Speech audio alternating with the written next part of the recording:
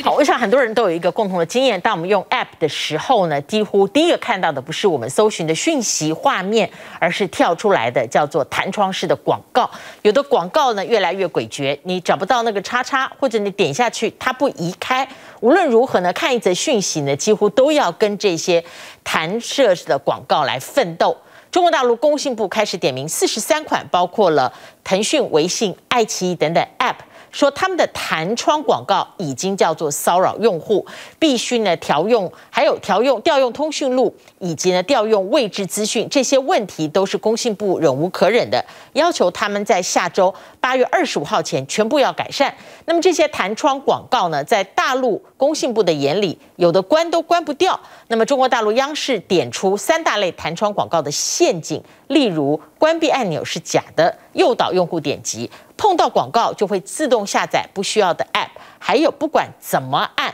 都会跳转其他广告出现。或许你也有过类似的困扰或者愤怒。之前的时候会有一些，还有一些倒计时什么的，然后，然后也有一些广告。App 点进去无法直接使用，总是出现一堆弹窗广告，有的即使按了叉号，还是没办法立刻关闭。有时候我们还发现，就是你点关的时候，或者不一定碰哪儿，反而把它打开了。各式各样弹窗讯息，想关都关不掉，用户不胜其烦。大陆央视也曾曝光 App 弹窗广告三大陷阱，有设置虚假无效的关闭按钮，误导用户点击，也有的触。碰到广告就会自动下载不需要的 app，没有向用户明示任何下载应用的提示，却在用户触碰广告页面任意位置之后自动开始下载。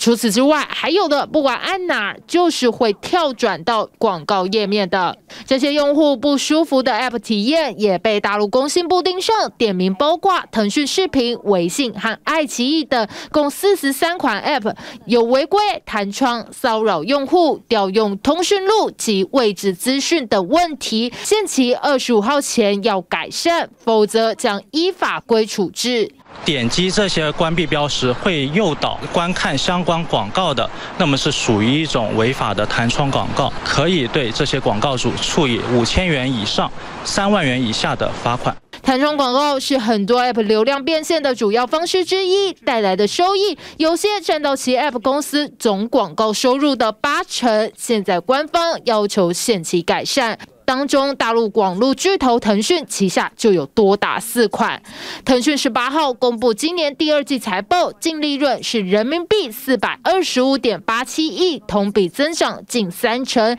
但比上一季倒退一成。营收则为人民币一千三百多亿，同比增长两成左右。但这次的收入增速却是二零一九年以来最慢。他们会受到不同的这个。呃，监管部门和监管和行业主管部门的一些，呃，可以说可能陆续会一些负面的消息出来，会影响到的估值和这个情绪。先前大陆官媒抨击网络游戏，腾讯收紧未成年玩家限制，在第二季财报中，游戏营收仅成长百分之十二，当中十六岁以下玩家占比为百分之二点六，明显低于去年底百分之三点二的占比。另外，官方在教育方面提倡双减，也打击腾讯涉及的。教育领域。If you want to identify a uh, regulatory um, action, it's probably sort of you know around the after-school tutoring, which is actually impacting uh, a, pretty big advertiser. Uh, group uh, on on our advertising and across industry, and uh, we're seeing part of the impact this quarter, and we're going to be seeing uh, the entire impact, full quarter impact next quarter. 连番出台管制措施，网络巨头们只能照单全收。除了配合，腾讯近期还响应大陆国家主席习近平喊出共同富裕号召，投入人民币五百亿，帮助乡村振兴、改善低收人群生活等，被外界形容是向中央输成。但能否见效，官方监管会不会点到为止，还很难说。T B B S 新闻综合报道。